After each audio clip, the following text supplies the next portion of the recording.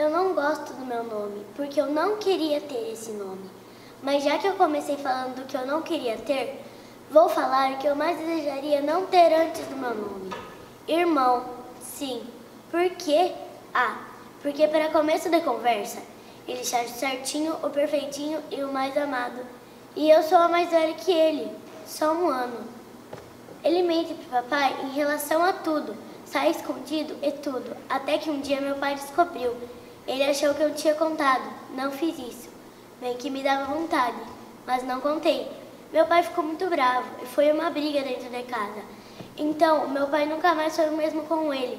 Então, ele não quer entender porque o meu pai dá mais atenção para mim. Ele deixou de falar comigo.